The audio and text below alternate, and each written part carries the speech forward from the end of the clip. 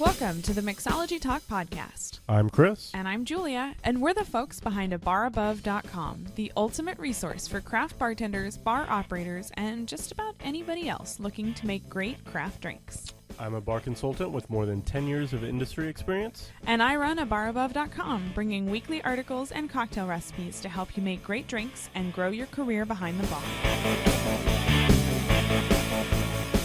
This is episode number 120 of the Mixology Talk podcast. And this week we're putting kind of the finishing touches on the bartender to entrepreneur um, episodes that we've been focusing on. And we're going to finish strong. This is probably one of my favorite interviews um, that I've been able to have so far. And our special guest today is going to be Jennifer Colliau of Small Hand Foods.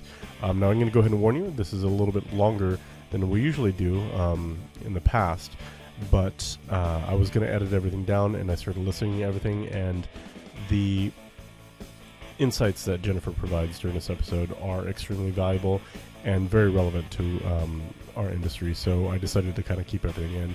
Um, it's about an hour and 15 minutes, so just want to give everyone a heads up. Um, like I said, this is a little bit longer than we usually have, but uh, I hope you agree that it's all worth it. Stay tuned.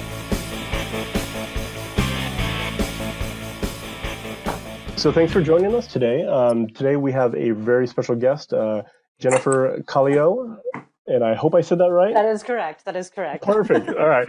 Beforehand, I just want to give everybody a, a, heads up. I actually had to ask her to how to spell uh, how to say her name because no one, I butchered no one so says, many. No other... one says my name correctly. No one. Oh, so thank you for joining us, and uh, definitely appreciate you taking the time to uh, to be here and um, you know share your experiences with our bartending community.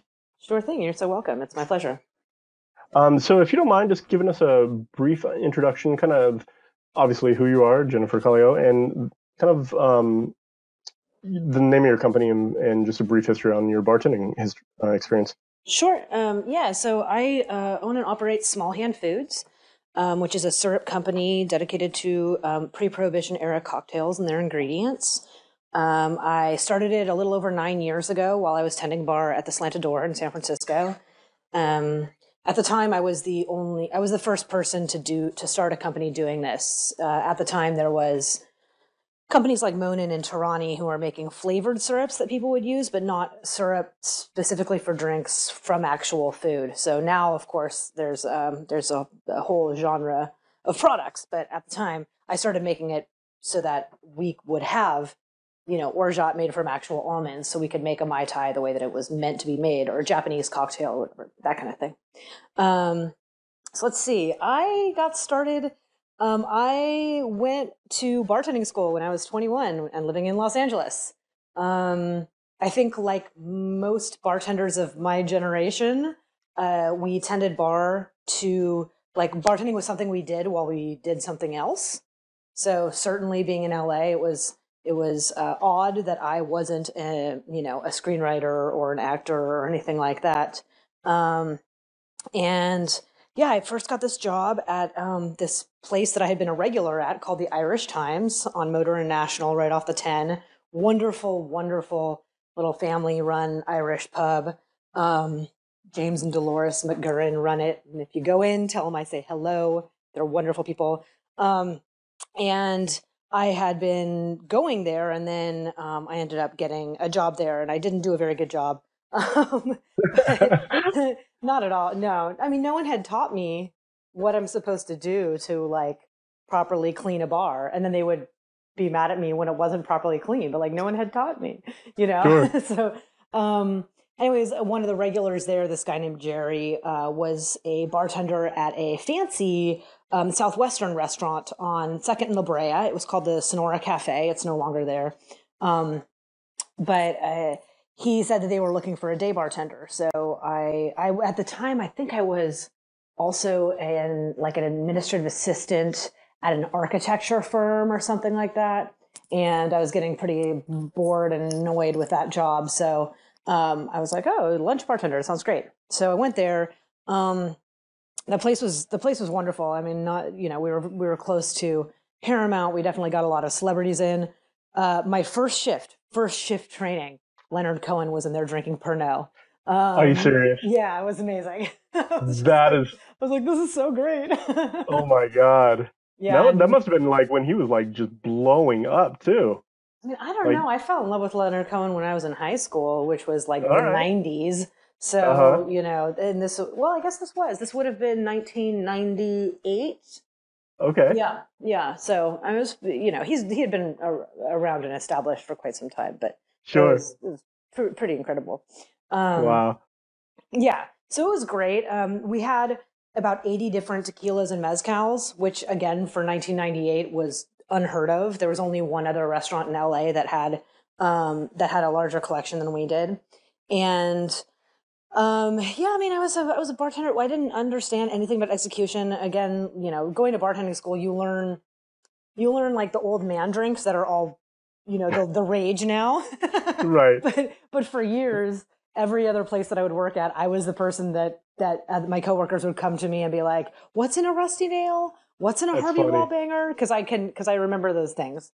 Um, oh yeah, absolutely. so you know and like we learned a lot of shit at, at bartending school but i learned how to free pour really accurately and i learned and i memorized a ton of drinks.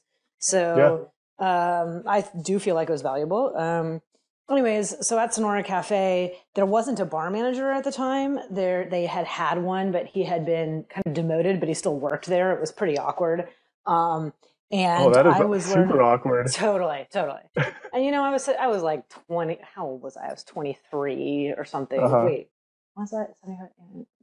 Yeah, yeah, I was about twenty three and um, 23, 24, and uh, uh, there was just shit that wasn't getting done. Right, like I'm a fastidious copy editor, and the menus would have typos, and it really bothered me. And there wasn't, you know, there weren't any new drinks happening or anything like that. So I. Um, at a certain point after being there for a year or you know a year or so. And um, i was working night shifts at, at that point. I asked them i sort of lobbied for the jo- job of bar manager and they gave it to me. Um, i again did not do a very good job. Uh, i did a pretty terrible job but i learned a ton about tequila and mezcal. And um, i also learned kind of to be comfortable in Hmm, how do you how, how do I explain this? Uh, people didn't expect a 23 year old woman when they came in to to look for the bar manager to taste new tequila or mezcal.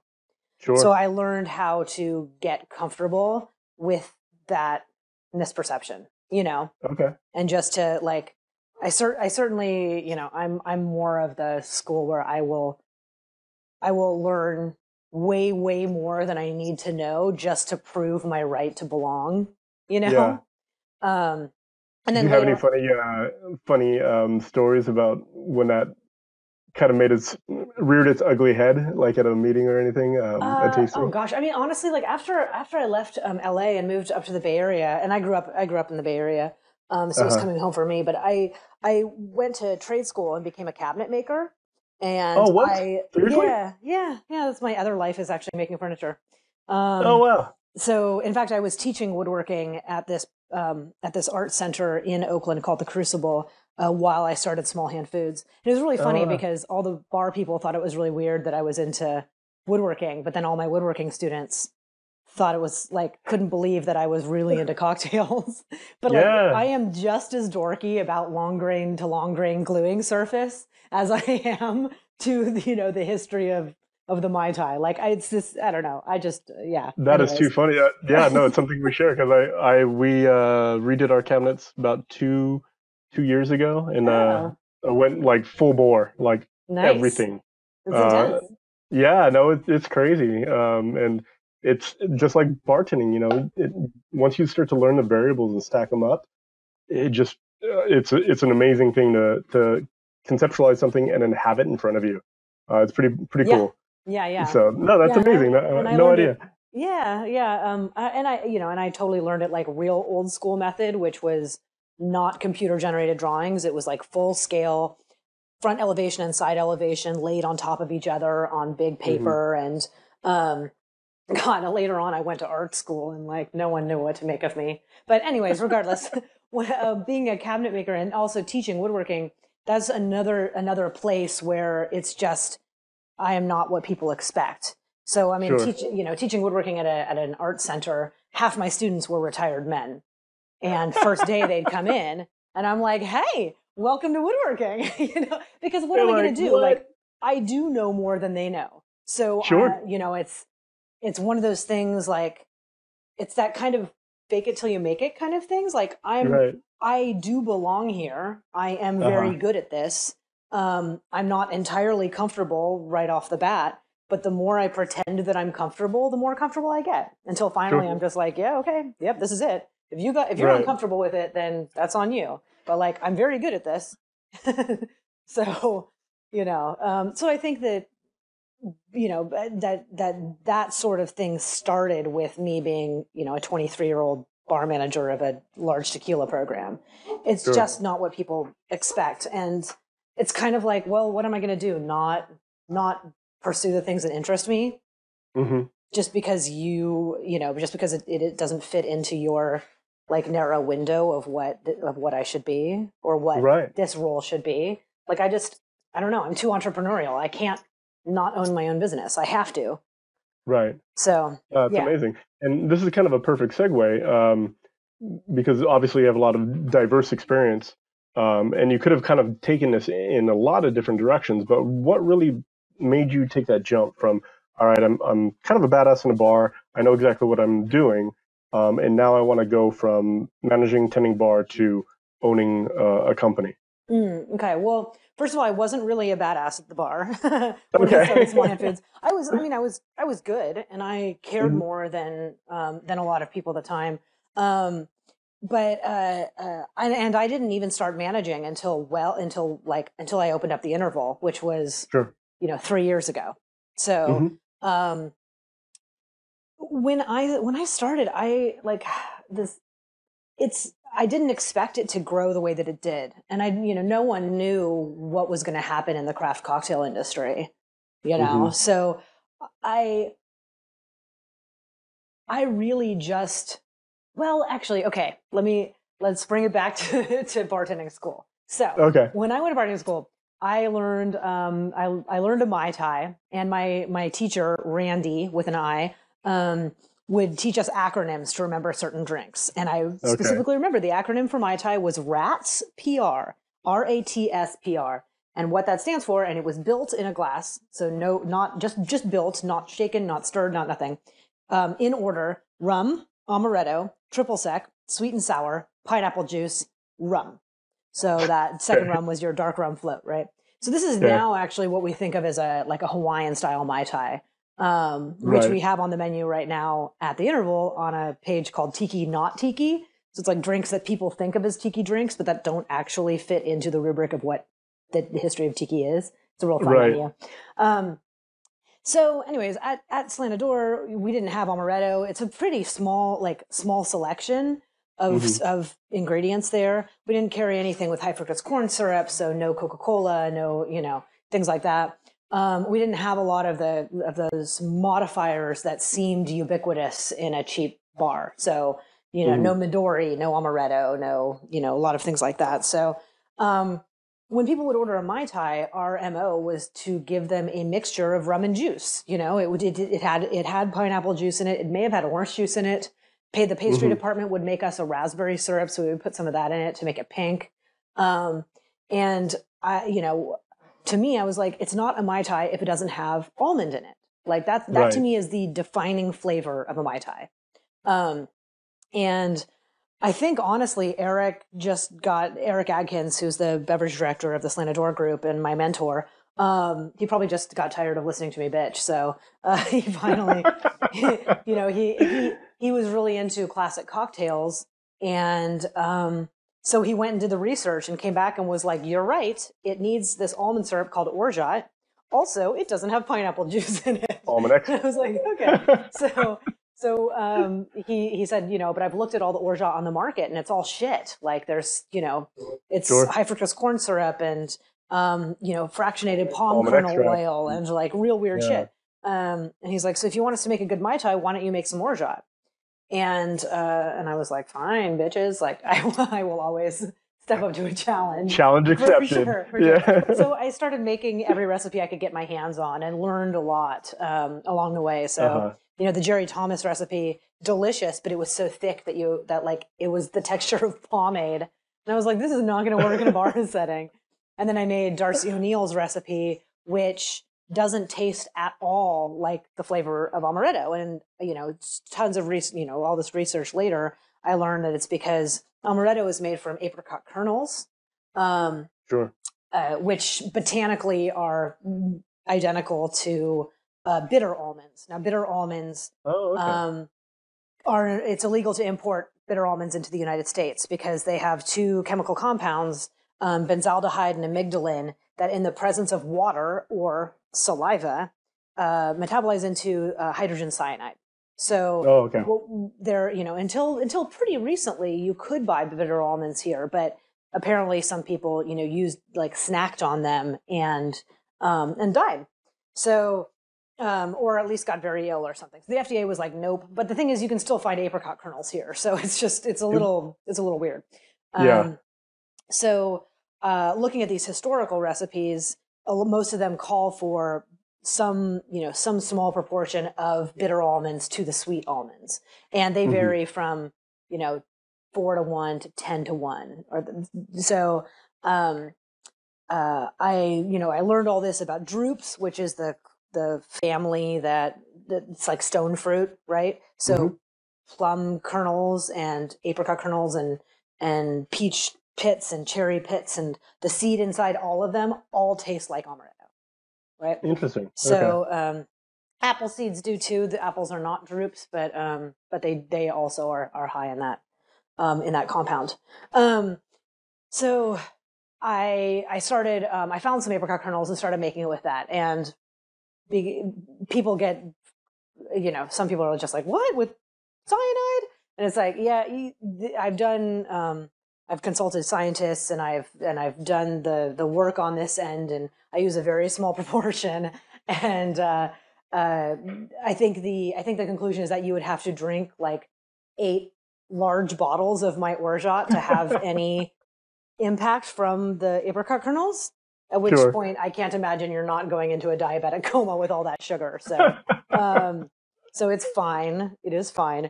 Um, but yeah, because people weren't using extract in you know the 1800s, mm-hmm. um, uh, that's I decided that that's what I wanted, and um, and kind of that conceptual development piece. It's like the I am looking at these pre-prohibition era cocktail ingredients and trying to be true to that, but also, you know, yeah, I guess just not not just old fashioned for old fashioned's sake, sure. but really trying to make the best drinks possible. So you know, when I I, I kept on fucking with the the orgeat recipe, and I made this, you know, I made one version. I kind of combined a few different techniques to get something that was delicious and pourable, like totally functional in a bar environment. And the orgeat was beautiful and it was nuanced and had this like light orange flower water quality and it was perfect. And then I made a mai tai and all the all the like subtlety was lost. And Completely like, okay, right. Like it, it, what I, it, it, the point is not to make the best orgeat possible. The point is to make the best mai tai. Like we don't drink orgeat, we drink mai tai, right. we drink cocktails. So the whole point of all of my syrups is like I'm not. I'm I'm trying to make the best mai tai possible. I'm trying to make the best pisco punch possible. Like it's not so you know it's not just about making the best syrup the best the best syrup is just not what you think it is. Let's just put it that way. Yeah, yeah. and I think this is one of the biggest points um, that I've kind of really focused on with with um, this interview process is there's a significant di- uh, difference between products that are out in the market that have been made for the mass for masses mm-hmm. versus products that have been developed by bartenders for cocktail programs. Mm-hmm. The end result in a drink is substantially different. Yeah, well, like I said, I mean, before I started Small Hand Foods, the, the the products that were on the market weren't even made from actual fruit. Right. So, you know, for example, pineapple is notoriously volatile. If mm-hmm. you buy a pineapple syrup that isn't made from actual pineapples, even if it's all natural flavorings, it almost never has actual pineapple in it. Like the mm-hmm. flavorings aren't derived from pineapple. Um, it's really it's it's fascinating. It's fascinating, and it and it's not so it's not so modern I mean, I mm-hmm. have an I have an old soda fountain book from 1900 that talks about excuse me that talks about certain um, com- certain compounds that you would use to make some of these syrups.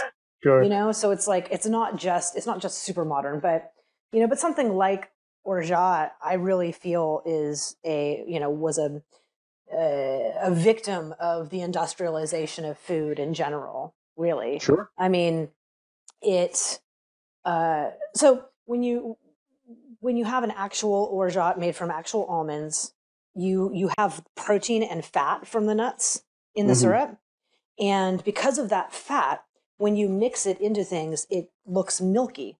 The same reason that um, uh, that absinthe louches, right? Mhm. Because of the essential oils that are in there. So that provides this like sort of cloudy, cloudy effect, right? Sure. um, when you have uh, the the worst example that I saw was the Trader Vic's orgeat. Okay. Um, and Trader Vic's is where the Mai Tai was invented, you know. Right. So like I'm pretty sure that in 1944 they weren't they weren't using orgeat like this. Um, but when you take away the almonds and just use almond flavoring, you don't get that cloudy effect because you're Mhm. taking away the fat content. So Sure.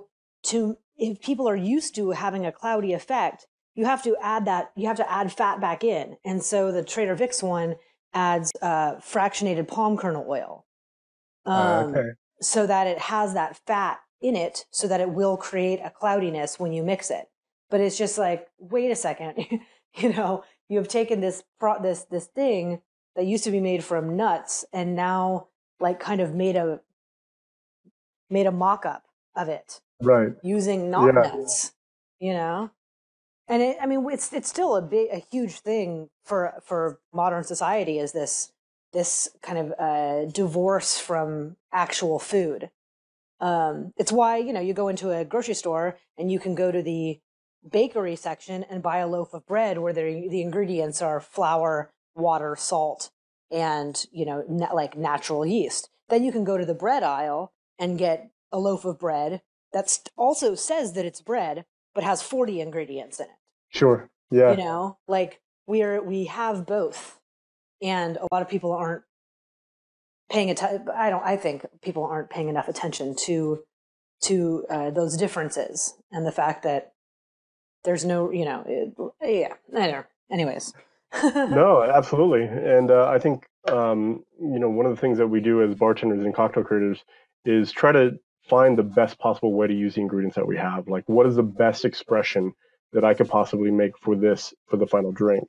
Um, and uh, you know, using products like this and developing your own syrups and tinctures and bitters and all that stuff um, could be a really great exercise in trying to figure all that out and paying attention to the ingredients that actually go into the final drink.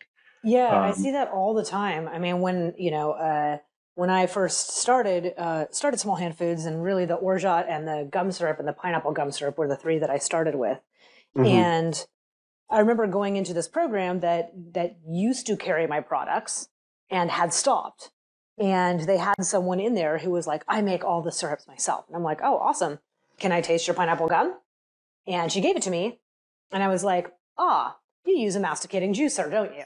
And she was like, "Oh, I love, I, oh yeah, I love my champion." And I was like, "Uh huh, okay, cool." I, you know, the the I'm very specific about my process because the way that I juice my pineapples, I remove all of the fiber, but I keep Sure. the the juice, which is why the product has a clarity to it. And when you use pineapple made from from a masticating juicer, you're getting a lot of that fiber in there. You know, that's like still it's being ground up, but you end up with a Sure. with a very cloudy product, and then you end up Uh-huh. with a muddy or chalky texture. Same thing when people make orgeat using commercial almond milk. Like my process removes the fiber because I don't want that in the drink um, but but keeps the protein and the fat. If you use commercial almond milk, commercial almond milk is made by finely grinding almonds so so fine into a very very smooth paste and mixing them that with water. So what you're getting is all of the nut in there. So not just the protein and fat, but you're getting the fiber as well. You make orgeat with that, yes, it's a lot faster than than the way I do it, pressing them. Um, Right. But you end up with an orgeat with a chalky texture, which is Yeah. not what I want it's still you know still the same ingredients but it's just this handling of it again because Yeah. the goal is to make the the most perfect you know mai tai or japanese cocktail or pisco punch or whatever it is No, that's awesome. That's really cool. Did, did the did you actually ask the lady uh, about her champion, and did she have a response to it, or? I asked if she had a champion. She said, "Yes, I love it." And I was like, "Okay, cool." If you don't know, if you can't tell the difference, right between that, it, I'm, you know, having some essentially. If you don't know me, you see me as like an annoying brand rep, where I'm just like, "Well, this product is better than what you're making with your hands." Yeah, and, that's true. You can't really win anything on that end. Yeah, exactly. And really, yeah. I mean, with this craft cocktail revival, so many programs now feel like house made is is really what they should be doing and not enough yeah. people have the critical analysis to um uh, or like the the the they're, they haven't developed their palate enough to mm-hmm. to be able to taste the difference yeah and um actually since we're kind of on the subject um one of the things that um, has always frustrated me and um, was this kind of balance of I'm going to do everything myself, no matter how mm-hmm. long it takes me. Right. That way, at the end of the day, I'm spending more time developing product than I am in front of the customers. Yep. And like the the cost, when you start to calculate those costs out, mm-hmm. homemade uh, like a house made syrup is not always the best idea. Oh God, uh, for no, so no, many no. reasons. So many reasons. Um, I mean, and, it's, and it's yeah. I base my my typical customer arc goes. Uh, oh, you've started a bar program and you buy my stuff. And then you, and then like the ownership or the management or whatever just you know, decides that like, oh, they can make it themselves. And then they do sure. it for a little while. And then, um, and then they start to look at their labor costs. And then they call, and then they like start to order my products again. or, or you get, um, uh, a restaurant group that's expanding and they're trying sure. to centralize their like like put together a commissary or something like that but ultimately they end up um, realizing that the labor costs is so is so drastic. Um, yeah. or they have they expect the bar manager to do it all and because the bar manager is salaried so they are not paying extra hourly. And then what you end up with is a program where the bar manager is not tending bar very often yeah. you know oh so, and plus the hours on that i mean that's a that's exactly what I went through as well. Just um, you know, you have your normal duties, which are about a 50 hour a week job, plus you have production on top of that. Um, right. It's a you're you're signing up for a lot. There's no doubt about it, and there's a lot. Yeah. There's enough passionate people in the industry that you know that could uh, that could definitely work. But man, you're signing up for uh, a lot of work.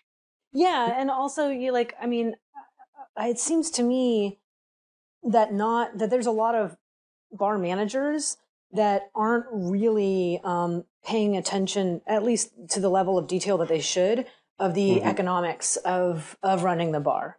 You know sure. that like yeah. hitting an eighteen percent pour cost uh, based on what you pay for your ingredients is one thing, but at the end of the day, once you're looking at all of your numbers, your comps, your all of your labor costs, like all of that stuff, you get to see where your actual profit is. Mm-hmm. And mm-hmm um, a lot of a lot of bar managers that I've seen, they are responsible for the former, but not given enough information to adjust the latter. You know? Yeah, and I think this is um, one of the uh, one of the biggest things in our industry is that we don't educate our managers enough. Um, no, no. There I is mean, very little education as far as the evolution of a, um, a bar manager. In my opinion, I've never been exposed to it except for through mentorship, um, finding the right people to work for. Right. Um, right. But it's really hard to get the information unless you're really purposeful and um, deliberate about getting it. Yeah, I mean, I also think it's just that because the craft cocktail world has exploded, has gone, mm-hmm. has gotten so big so fast that what you end up with is, you know, a, say a restaurant that 20 years ago could have opened up and thrown a Cosmo and a margarita and a daiquiri on their menu and and called it a day, and right. just hired people who you know, they'd have a Mr. Boston behind the bar and they'd figure it out and everyone mm-hmm. free poured and fine. Um, now I, and it's so funny. I actually had a, a meeting yesterday with someone I'm going to do a little bit, um, like a new program, um, that I'm going to help out just like a day, a day of training with the staff. And she mm-hmm. is the owner and what, you know, she's saying she wants them to come, like the bar staff to come up with some interesting drinks. And through our conversation, I realized I was like, what you're going to have, what you're going to be fighting against is the bartenders knowing more about cocktails than you do and not Mhm. respecting like the whatever it is that you want to that you want to put forth. And Sure. the way to do that, you can do it by knowing more than the staff, which is obviously how I how I handle my my bars. But just because I'm like a stupid like uh, you know obsessive ca- classic cocktail book reader, and you know Uh-huh. I, I read everything. But but the way you do it is actually becoming more comfortable in saying like, hey, I don't know this thing. Let's work this out. Like Sure. learning how to find balance in a cocktail and saying, hey, I like the idea of these ingredients together. Can we put these together and try and make a good drink? And so Right. you're kind of collectively putting, you know, uh, building a a a good um, kind of vocabulary for you and the staff. You know, so mm-hmm. anyways, I think I just I don't I don't see that enough. And so what mm-hmm. I what I've seen a whole lot is ownership that knows that they need to have a good bar, but doesn't but don't know how how to execute it. So they Sure. go this this they look around for a bar manager. But they're not really sure what all they need from this bar manager. They just know that they need a good cocktail bar. Mm-hmm. So they expect the bar manager to, you know, deal with every single problem on site and do, you know, like trainings and also tend bar and also control costs and all this stuff. And you end up with these with these poor bar managers that are so overworked. And a lot of times they end up making less money. And I keep telling people to advocate for themselves. I'm like, if you have to drop down from bartending four nights a week to bartending three nights a week, make sure that, that whatever you're getting hourly or salary wise is making up for that one night less a week of tips. Right. You know? Yeah, and I think it's kind of something that's backwards about our industry is if the natural progression in any other industry is the the more you escalate through any program, sales or marketing or um, management, there's a reciprocal increase in your pay. Right. But in the bar world, you take a significant decrease in your salary in the Bay Area here, anyways, to have that title of bar manager, um, Right. especially if you're full time bar manager. Well, Um, people don't advocate for themselves, number one. yeah, um, you know, and, and, and uh, like, I think it just has to do with people's lack of experience. And because there's Mm-hmm. like, there's actually uh not that many people who, who can, um, who can do all those things I said, the like, Sure. you know, the, the, the cost analysis and, um, and all of the training and all like everything that, that really like a stellar bar manager should be able to do um, really and well part of it to be quite honest i think that it's all too much for one person i feel like that these these things should be that bar managers should have more support from the Mhm. infrastructure than they typically do um, Oh, I, I very I'm with you. I'm, I'm, I'm sure a lot of heads are nodding right now as, as they hear this. Like, damn right. yeah um for yeah because but I, I don't think it's intentional i think it's just that ownership doesn't actually understand every piece of what it takes to do this job Sure.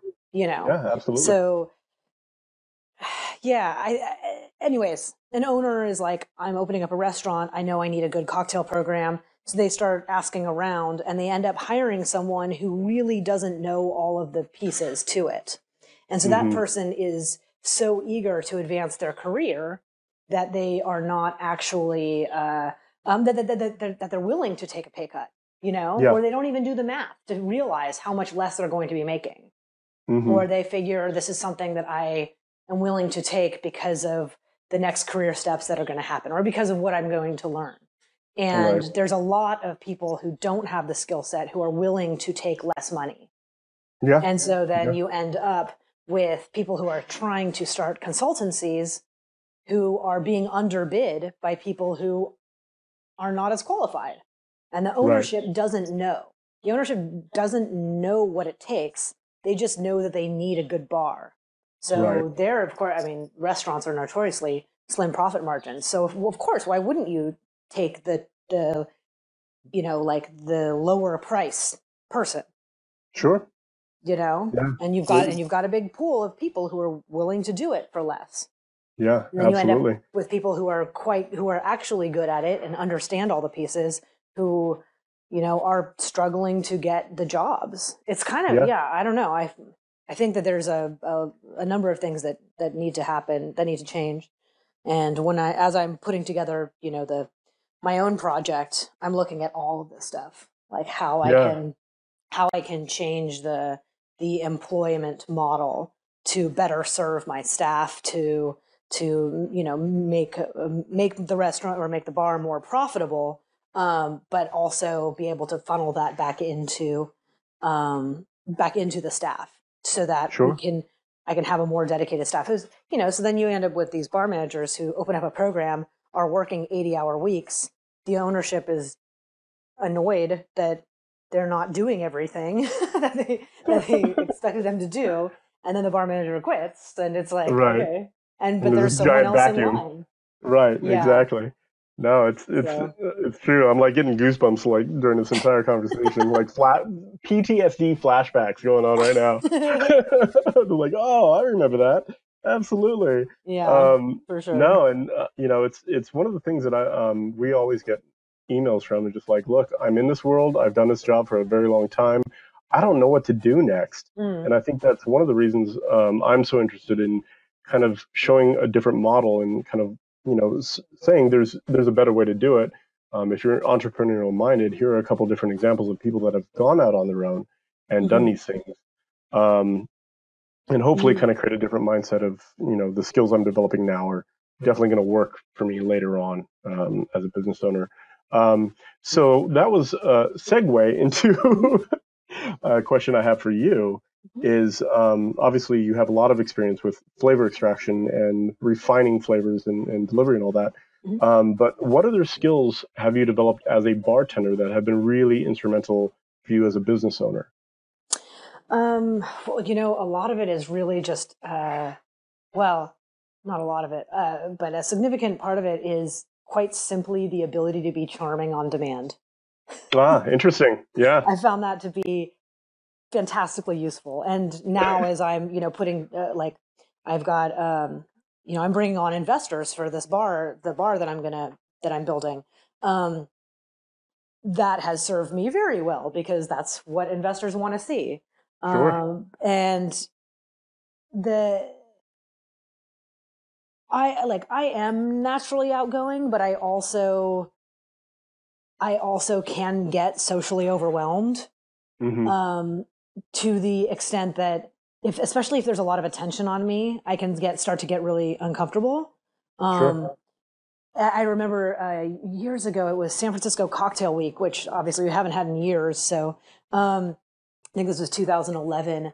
Uh, I got a, an award for a trail, like the Trailblazer Award or whatever it was. And Mhm. at the after party, um, you know, there's all these bar stations set around, and I knew all the bartenders, and I'm sitting there carrying this fucking award in a dress, and I'm just like, and people keep talking to me, and I got, and I, I was just like, this is like, I was so uncomfortable that I finally went to one of my friends at one of these bartending stations and said, "Hey, can I come back and make drinks with you for a bit?" and I kicked off my shoes under the table and and just started making drinks because I'm like, I'm I'm much better, Right. like. Like You're I'm more I- comfortable in that I'm environment. Yeah. yeah, yeah, where I have this bar between me and you, where the focus is now on me giving you a, a an experience that you're going to enjoy. So if I can do that, then um, yeah. So so I think bartending has taught me that where sometimes like like at Slanted Door where there's four bartenders every night and um, uh, uh, you could well at least at night we had our we had set stations but Mhm. um, at lunch we didn't and you know sometimes you you would say okay do you want to work the service well where you're not really talking to people or do you want to work personality where you are talking to people and Right. some people have the mindset of like i don't really feel like talking to anyone i'm just going to do the service well Yeah. and then s- another kind of person um, would say i don't really feel like talking to people so let me be personality because it'll like get you out of it get you Right. out of that that mindset and i find them both useful at different times you know um, but certainly there are times in which when i am feeling uncomfortable or not particularly social that being a bartender that that giving that service is makes like turns my night around makes me happier you Yeah. know No, absolutely. I remember. Um, so, just a side story. I was a craps dealer in Las Vegas, um, which got me into bartending later on. But um, in a craps table, the attention's always on the dice or the person that's shooting. And I wanted to develop myself in a, in gaming, so I took the job as a um, uh, blackjack dealer. Mhm. And uh, so I practiced shuffling and all that stuff, and uh, finally got on my first live game. And uh, I go into the game, and all of a sudden, you know, with craps, everyone's looking around and not paying attention to you. And uh, at the crap or the 21 table, the blackjack table, everybody is staring at you. It is probably one of the most like nail on a chalkboard, you know, moments of just like, holy cow, wh- I have to entertain these people. Like I'm the Right. only source of entertainment. yeah. Uh, it was uh, it was completely unnerving, and uh, so I remember the first shuffle I did. We had six six decks of cards, and it's probably twelve inches tall. Sure. I sprayed the entire deck all over the place, which means Oh, like no. cards everywhere, and I'm just like, oh, this sucks. This is not a good start. Um, but that absolutely translated into my bartending. Um, you know, being able to deal with people one on one, and you know, going out and being able to have those instantly charming, like you like you mentioned. But yeah, that was that was my first shift behind uh, 21, and I after that I hated it. Completely hated it. yeah, I believe, I believe it. Yeah, it's uh, yeah. I don't know. I've I've as a business owner, I found that to be very useful. So to the point where my business partner, and now I didn't start with a business partner. I brought one on um, about five years ago. Um, Uh-huh. And it wasn't even we weren't even intending on him being my business partner, but we we worked together so well that Mhm. that's that's what he became. Um, but we had it like the first bank loan we got. Um, we had to do a presentation for. eh, We got it through this uh, this nonprofit in San Francisco called TMC Working Solutions, Mhm. and they provide um, you know like like business loans to small uh, you know up and coming companies. Um, and we had to do it's. I mean, it's so it's so ridiculous because at this point we've gone through so many loans and lines of credit and paid them all back, and really with a, a small business like this it's really that cash flow that will destroy you. You know, where Sure. uh, where I have to pay pay up front for all the ingredients and all the production, and then we ship it out, and then you know the distributors pay us net thirty. So it's like I need to float, you know, a hundred thousand dollars every month. Sure. So Yeah. having having lines of credit and having loans where like the business is totally profitable, it's just we just don't get to keep very much of that money, you know, because Right. we just keep on growing. Um, but anyways, doing a presentation for this board um, at at TMC Working Solutions, it's like I brought in, I made cocktails for everyone because I'm good at it and I'm charming. And the idea Right. is I need to make you want to give me money. So that that I I do think that that personality thing is really really useful. But it's also I will say that I don't think that it is necessarily exactly as I have seen younger bartenders do it Mhm. where there's where there's more swagger or they will talk about things that they don't necessarily know. I think it's Okay. far better service to say if someone asks you something you don't know to say like, "Oh, I don't know." Um, if you know the recipe for that and I have the ingredients, I'm more than happy to make it for you. Or if you, you know, if you can wait a few minutes while I run upstairs and look that up, I will totally Yeah. do that. Um, if what you need to do is get a drink in your hand right now, let me make you something else, and then in, in you know in five ten minutes when I've got a little bit of a break, I'll look up the recipe and we'll see if we can't have that for you for your for your second drink. You know, Right. but I see a lot of people kind of bullshitting, and that Yeah. that's bad customer service.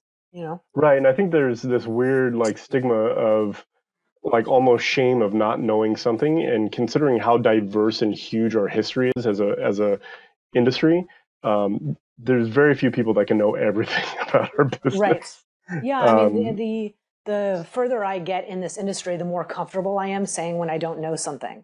Sure. And you know, and, part of it is also that like honestly, if I haven't heard of a drink, there's no reason why I should have because Mhm. because of, of how much I read. Um, Sure.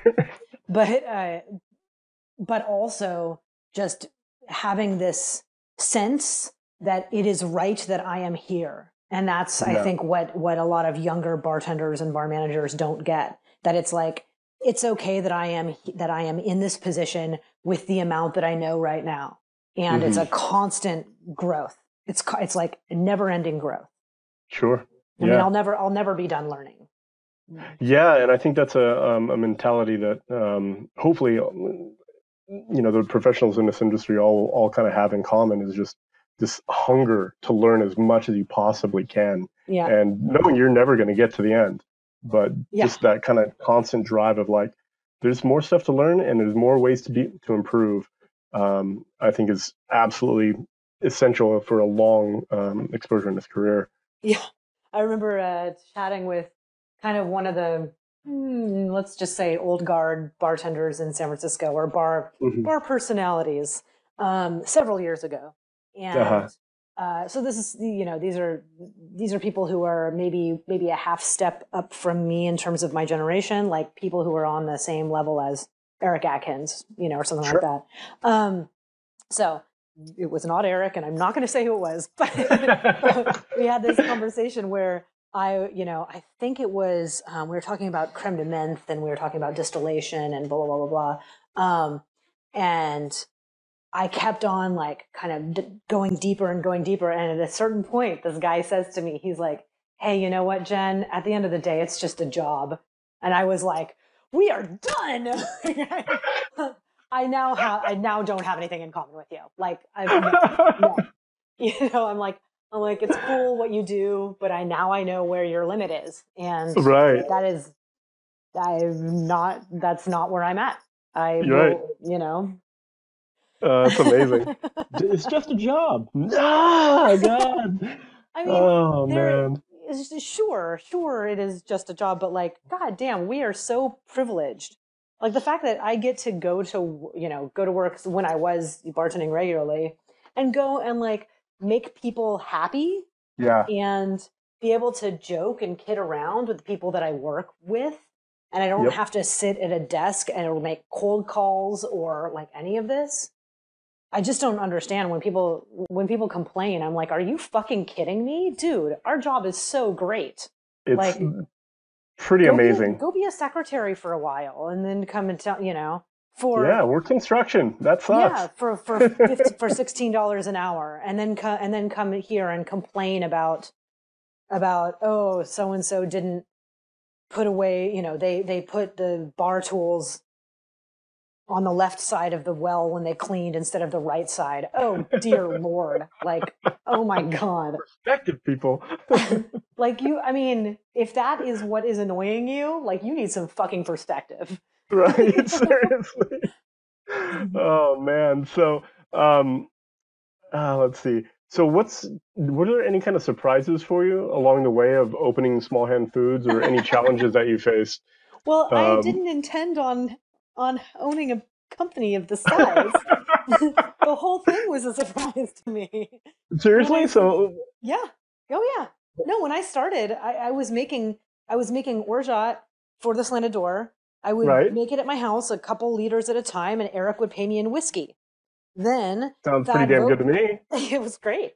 Um, keep bear in mind that back then, Pappy Twelve Year was our well whiskey. what? Um, I know.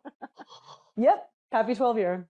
oh my um, god. No, no, I know. It was ridiculous. Like I can't. I would just buy it to you know have in my house to drink. I'm like, why the fuck didn't I buy cases and cases? Barrels of um, that stuff, man. I oh my know, god. I know. I would be a millionaire.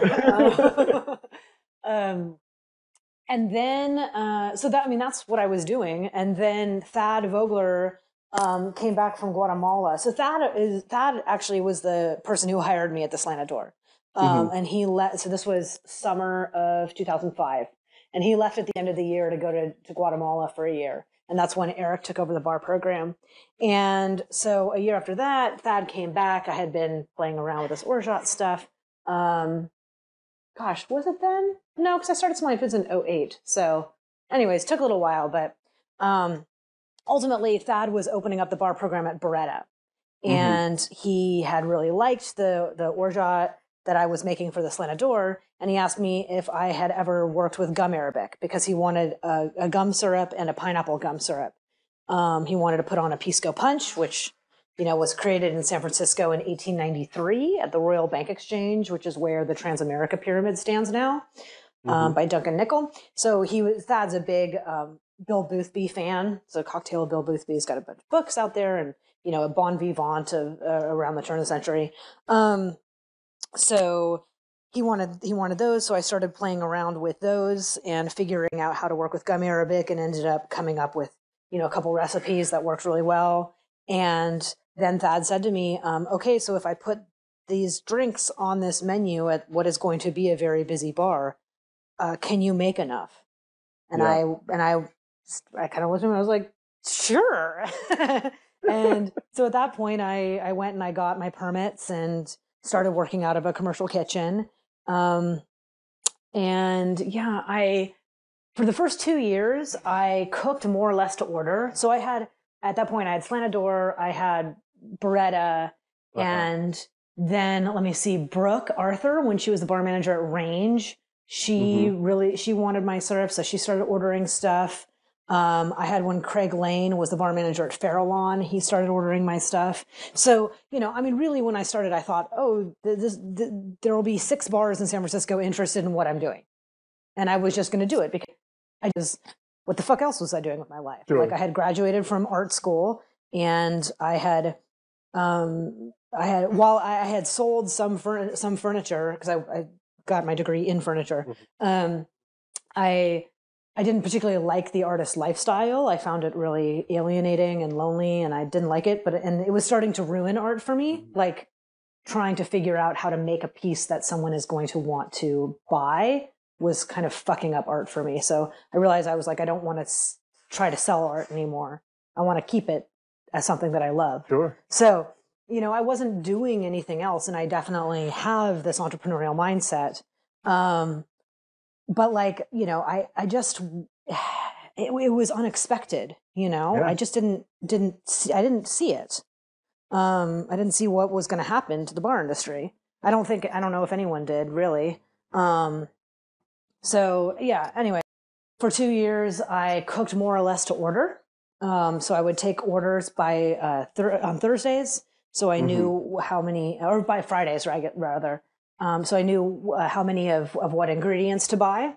And Mhm. then the uh, I would soak the almonds for for a few days, and then I would go into the kitchen and cook and um, fill the bottles and um, and seal them and cap them and put the capsules on and label them. And I delivered everything on Thursdays, and then I would take everyone's orders again. So I did that for two years every Oh, week. wow. I didn't pay myself anything, um, and really, kind of all of the the most of the major expansions of of my business were preceded by about a week of crying where, where I'm just like I'm just so fucking stressed out.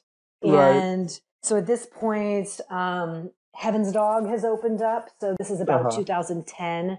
Um, I was tending bar there once a week and at Slanted Door three nights a week and um, doing small hand foods. And I just kept on getting more and more business. And I was just so stressed out. And I, I got to the I got to the point where like I, I really needed to um, to eh, to to to expand Mhm. and I needed to, to also like do that before I started paying myself. So I'm Sure. very I'm very fortunate. My mom loaned me a little bit of money, um, and I was able to kind of use that to supplement my income. And I went down to bartending part time, and um, and so I I was able to after about six months when when um, I had built up the business enough to where I was able to start paying myself. But it was you know when it uh, when it first started, it was five hundred bucks a month, and then it was a thousand dollars a month. And I really, you know, I don't make a living doing it, but I but I love it. I love it. And as we Yeah. were, as you know, I'm a big proponent of um of quality of life, of lifestyle. So for Mhm. me, I would rather own this business and um, that that I feel like has integrity um, and make less money. And you know, there was also this this thing in my head where I was always like, you know what, I can always pick up shifts. Yeah. I, yeah. I if if all of this goes to shit, if I do a terrible job, I can always pick up shifts. I'm a Yeah. great bartender. right. Um, so having that that sort of that like holding on to this thing where I was like, I'm gonna be okay. right. Um, you know, and part of it is just being a bartender and, and having the ability to work with my syrups in a bar setting and making Mhm. sure that everything functioned well is great. And it's different from a marketing company coming up with a syrup line, you know. Sure.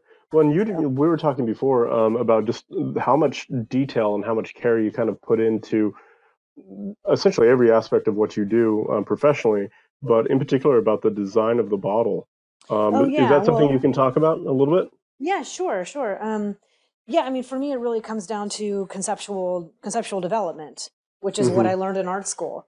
Um, one, honestly, the best thing I ever learned in art school was this idea of if, like, what do you want your viewer to think or feel when they interact with your art?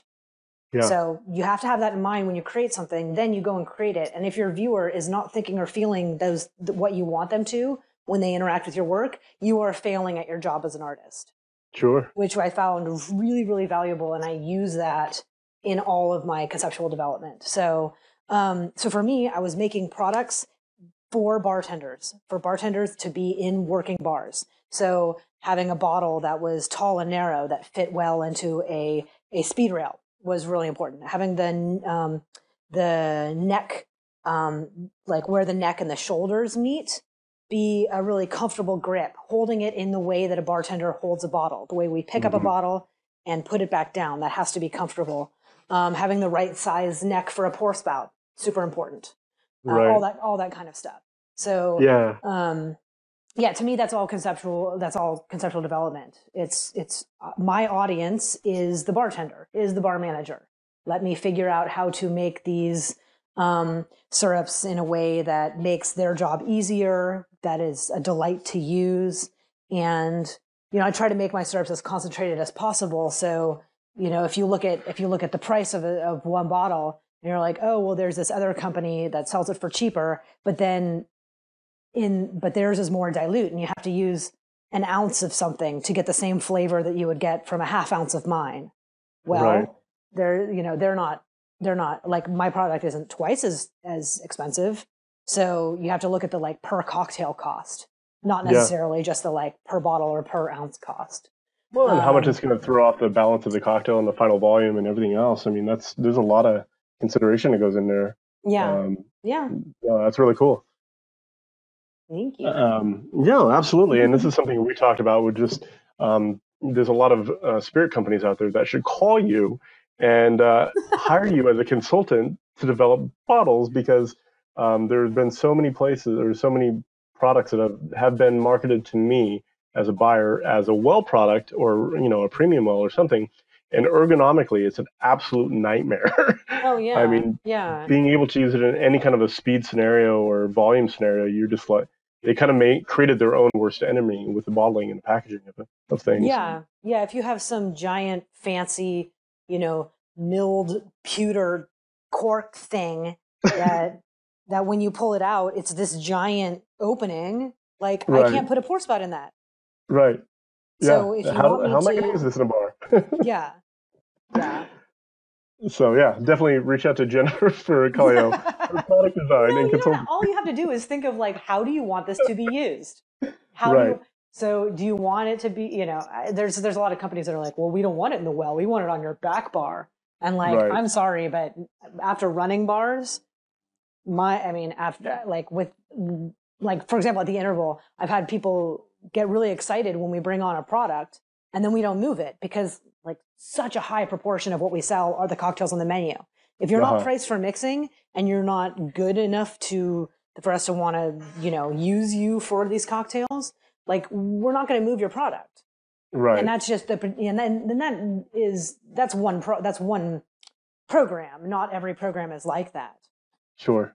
But Yeah. you know, you you got to pay attention to like I would rather have the sales personally Uh-huh. than to have the prestige of something sitting on a back bar. Right. You know, That has to be hand sold uh, to every customer you sell it to, unless you have a pretty significant Totally. following behind the brand. So, or you know, I mean, people do a really good job with marketing. You know, Yeah. Hendrick's has amazing marketing. People call people call that brand all the time, and Yeah. that's not that's not really priced for mixing. That's definitely on the high end of of the per ounce cost. You know, No, absolutely. Yeah. Um, so one of the focuses we always ask um, people that we interview and uh, with all the products that we try to develop is listening to this podcast. What advice would you give to any bartender? Something that they could take to their next shift, or even if they're mid shift, or hopefully not mid shift, but opening up and listening to this podcast. Um, how could they make those steps to being an entrepreneur or flavor extraction? Um, obviously, mm. you're an expert in many different areas, but what advice would you give a, a, a bartender? Well, I'm gonna I'm gonna actually qualify this answer first, which is just mm-hmm. something that I have that I think is because I'm in the Bay Area and sure. we have such a focus on startups, the startup culture. Mm-hmm. Um, a lot of people feel like they need to start their own company, and it's not for everyone. And that doesn't mean that you are not as like that you're not achieving your potential. Sure. Like not, you know, there I, I've I've seen a lot of people who are focusing on the wrong things when trying to create a business um, because they don't really understand it. I saw someone mm-hmm. post on Facebook something like like, "Hey, anyone have you know a, a developer? Blah blah blah. I have a great idea." And I was just like, "Fuck you!" Like, like we all have great ideas. That's not business. A business is executing your great ideas. Right. Like bringing it to market. Like there's so you know when they say you know 99% perspiration 1% inspiration that's totally true. Right. Like like you want to get paid for your idea? Like oh no no no. What you yeah. What, you know what you should do is if you are not the person to execute it find people who are but don't expect mm-hmm. to be paid a royalty on the fact that you had a like based on your thought.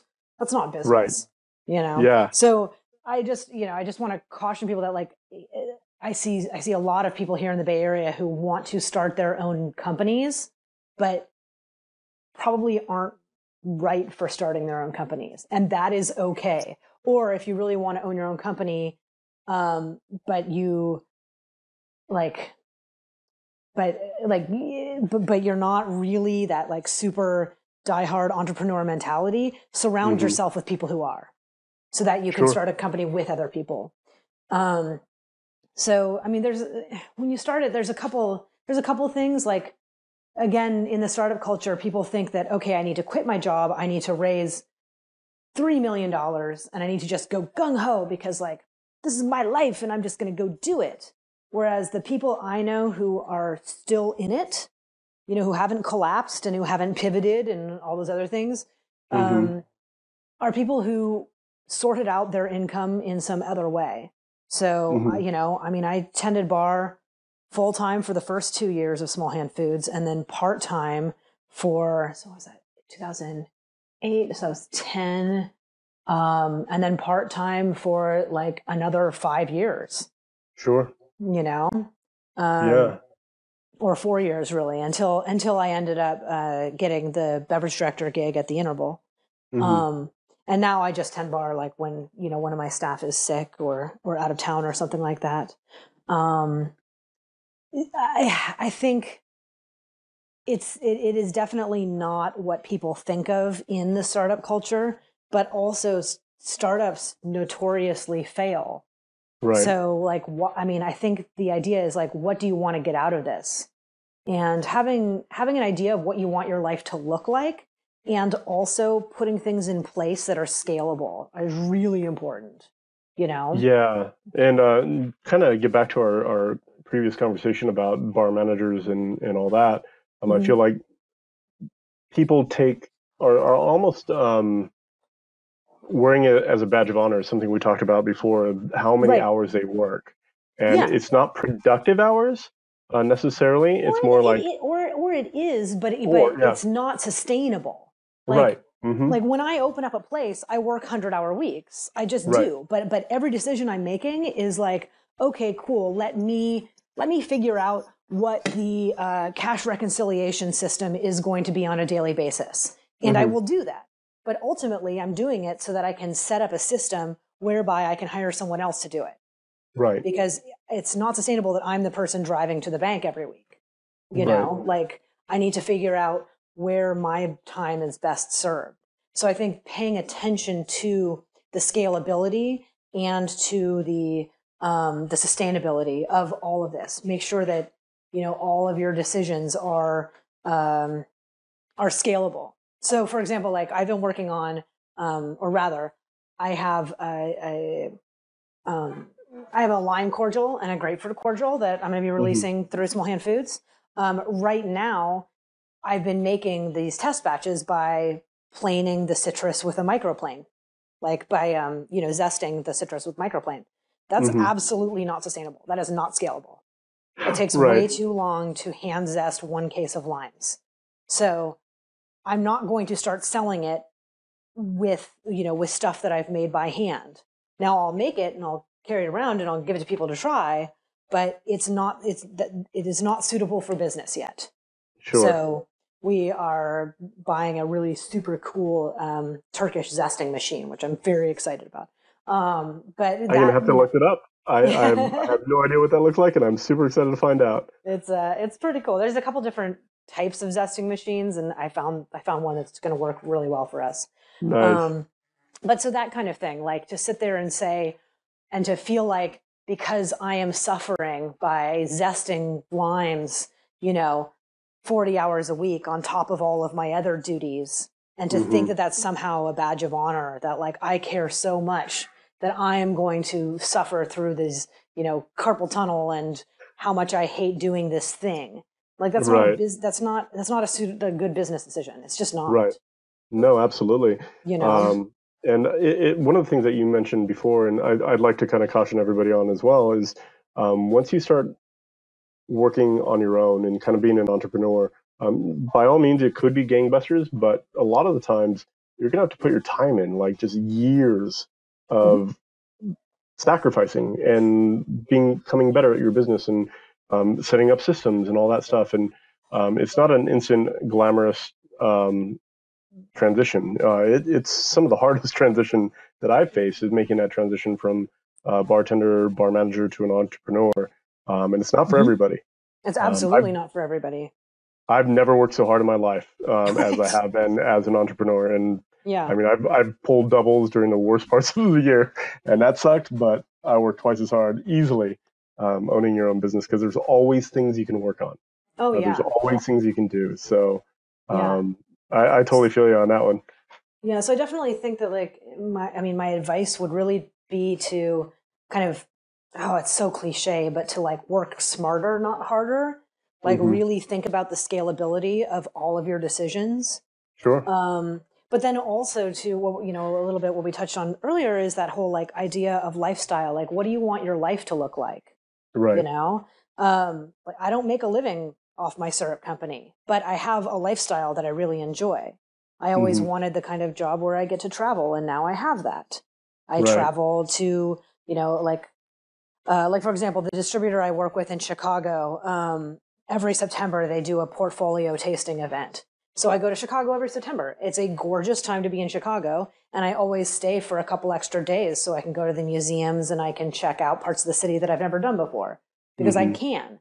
Now Right. the trip you know the trip is is a write-off.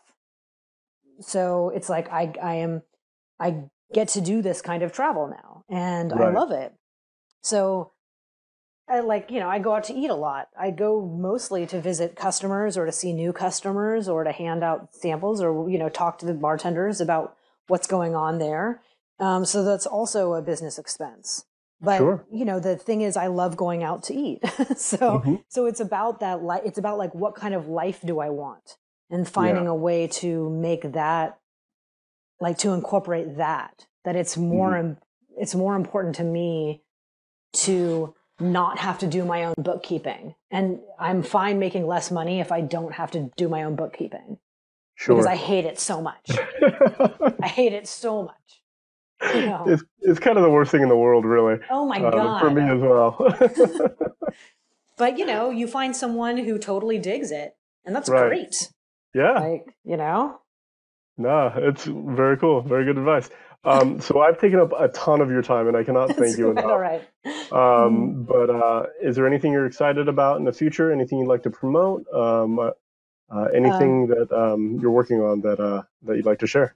Uh, yeah. I mean, um, like I said, I'm I'm I signed a lease on a bar space in in Uptown Oakland, which I'm really excited about. So I'll get to have my own bar for the first time ever. Um, that's very exciting. So we're uh, we're fundraising now, finding investors, which Mhm. you know, all, like really like every business, every step is like, wow, I've never done this before. Let me figure this out. You know, lease negotiations took eight months and Sure. many thousands of dollars to a real estate attorney. I did not know that's what it took. Now I know. Cool. Right. Okay, now I can plan for that for the next bar. You know, things like that. Mhm. I love it. I, I just love I love learning all these new processes and stuff like that. So, um, yeah, I'm very excited about that. Very I'm cool. making a Well, bar um, like no one yeah. has seen before. I'm so No has excited. Well, bar like, just like the bar program you ran over, uh, you're running over at uh, Interval, um, is pretty unique. Um, you know, I've been Thank kind of paying attention, and um, you know, just the grand idea that you have um, around that particular bar is is pretty different um, than you see uh, from any bar that I've ever seen. So, uh, Yeah, well, thank I'm you. I was honestly, it was really, uh, it was. I'm very, very lucky that this organization took a chance on me because I hadn't Mm-hmm. executed my own program before. Um, but yeah, like I said, they they say that I own Extinct Cocktails, and it's a nonprofit organization based on long term thinking. So it was a good Yeah. fit. Um, but I don't know that and that other that another organization would have let me do this kind of outre menu that I did there, and I'm really, really grateful that they that they they let me do this weird thing, you know, yeah, and I love it. It's really cool. very cool. So, um, is there any other place that people can um, reach out to you, follow you, Facebook's social media, um, get in contact with you for uh, for dropping some cash on you for uh, for a new bar? oh yeah, for sure. If you're interested in investing, um, reach out to me directly. Uh, it's it's actually really fun, like because um because I used to be a woodworker. Um, hmm uh, I, I've been hand making all of the prospectuses for the potential Oh, what? investors, and I belong to um, TechShop in the city in San Francisco, um, and like laser cutting these these wooden, basically these books and making these things. So, um, and it's it's how I'm going to be making the menus for for the bar itself. So it's kind of like a preview of what the menu is going to look like. Um, really, really fun. It's been super enjoyable. So yeah, I mean, uh, my website is just smallhandfoods.com, singular hand, Mhm. plural foods. Uh, my email address is just j at smallhandfoods.com. Um, I've got face, I've got my own personal Facebook page, which is largely business related anyways. And then I also have a Small Hand Foods um, Facebook page. Uh, Twitter is Small Hand Foods and Instagram is Jennifer Colliau. So basically, throw, there's no other Jennifer Colliaus in the country. So if you find, if you just find that, you can find me somehow. Great, and uh, we'll put links to the and to all your uh, social media in the show notes. Um, Awesome. But once again, thank you so much, and definitely appreciate uh, all your time. And um, we'll talk again soon, hopefully. And uh, can't wait to uh, to hear about more about your bar. Thank you. Thank you. Absolutely. Yeah, my pleasure. Thank you for making it all the way to the end of this podcast. I know it's a little bit longer than our usual podcasts are, um, but I hope that you agree that it's definitely worth it. Um, she just had so much experience and insight, and uh, just really good advice for anybody that's kind of making their way through the bartending career. That I didn't want to get rid of any of it, so I can't thank her enough um, for all the time she spent on this podcast. On a similar note, um, Jennifer's opening her own bar. You might have heard that in the um, the podcast itself, and she's currently looking or taking on investors as well. So if you've ever wanted to invest in a bar or um, you know help her start her own bar, definitely want to reach out to her. We'll have some of her social media contacts in the show notes at mixologytalk.com slash 120. And uh, that kind of does it for our Bartender to Entrepreneur podcast series that we've been doing over the last year or so. Um, uh, in, I hope that you uh, enjoyed it, and uh, if you have, uh, definitely leave a note in the uh, iTunes or a review in iTunes for us. It'll help us reach more people. We, we definitely appreciate it. So we'll have some more podcasts for you in the future. But until then, cheers. everyone. Never miss an episode by subscribing in iTunes or YouTube. And as always, check out the show notes by clicking on the right.